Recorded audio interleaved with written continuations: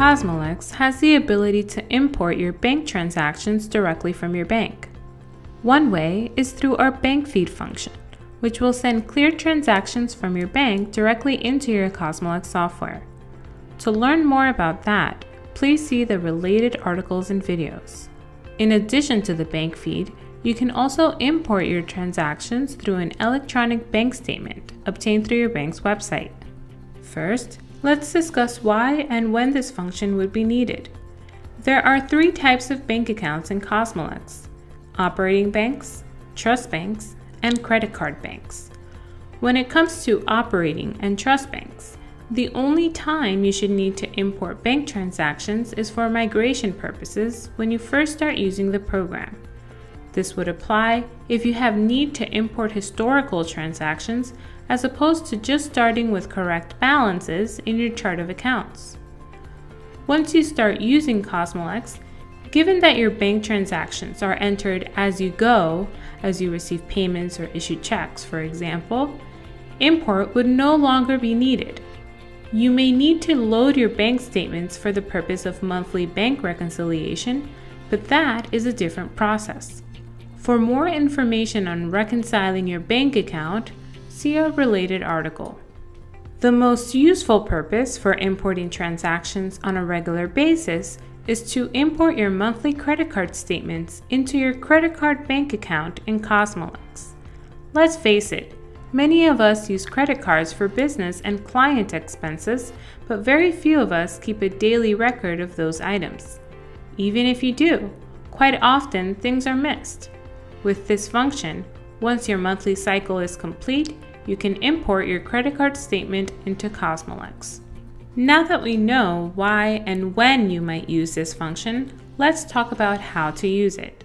First, you will have to download a QBO electronic statement from your bank or credit card website. QBO format statements are provided by most financial institutions. Check our support portal for download instructions or check with your bank or credit card company. If the financial institution only offers their statements in OFX format, there are third party tools that will help convert it to a QBO format. Once you have downloaded the QBO format file for the time frame you wish to import, go to the Accounting tab, then Bank, then choose the bank you wish to import to. I will go ahead and choose my credit card bank as I would like to import this past month's credit card statement. Click once to select the bank account, then click Details, or double click the bank account. Then, within the Transactions tab, click Action, then Import Transactions. Next, click Choose File to find the QBO file saved on your computer. Once you've located it, select it and click Upload. Use this screen to preview the transactions that are ready to be imported. There are several details to look for before completing your import. First, if a transaction says matched, that means it has already been matched to a transaction in Cosmolex. To remove this transaction from the import, click on the Matched button. If you first want to verify what existing record it has been matched to, click on the Details icon. If this match looks correct to you, you can cancel the screen.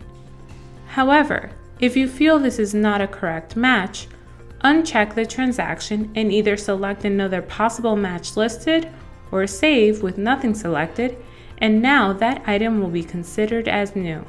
You will see that transaction and others labeled Add on the screen.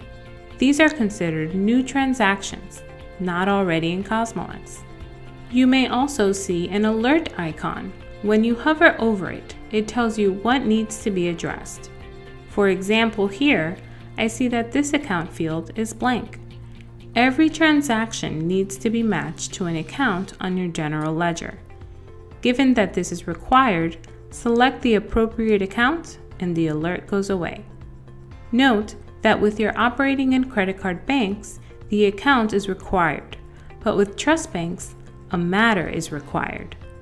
Let's click Add to import this item into Cosmolex and you can see it is now removed from this list.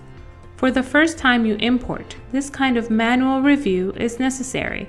However, the program is smart enough to create mapping rules based on your matches so that items will match even more quickly the next time you import.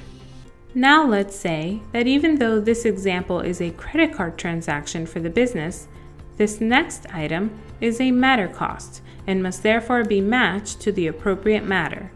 To do so, click the Edit icon for that transaction. Check Post as Matter Expense and select the matter it is to be linked to. Add any details about the expense that are needed and then click Save. Note that like all of Cosmolex's built-in accounting, the account field is now filled in for me as a client cost and the linked expense entry was automatically created for this transaction. So let's go ahead and click Add. Before we go on, let's take a moment to learn more about mapping rules. Mapping rules are used to automatically rename payees as well as memorize accounts when importing bank transactions. You can add mapping rules for each bank type, but also additional mapping rules are built automatically as you import statements and can be later edited if needed. For instance, if I want this transaction payee name to import as Google all the time, I will edit the payee name and add this transaction. Now, when you click on Mapping Rules, you will see a new rule has been created designating all future transactions like this to rename the payee as Google and assign the appropriate account. Going forward, those changes will automatically take place and there is no need to manually update the transactions. If you would like to have this rule applied now for the remainder of this import, click Close and Apply Rules. You may also want to block certain statement payee names from automatically becoming a mapping rule. Add those names as an exclusion rule. This will exclude these items from becoming a rule automatically. Lastly, if you want to prevent application of any rule, make that rule inactive. So, as you can see, much more than just importing occurs. Memorizing takes place so that as time goes on, this activity becomes easier and more accurate. Now that I've shown you various scenarios for individual transactions, eventually you will get to a point where most items are automatically matched or properly allocated, and you simply wish to import in bulk. To do so, select those items and use the Add Confirm Match button this will clear these items from the list and either add them to Cosmolex or confirm the match with an existing transaction.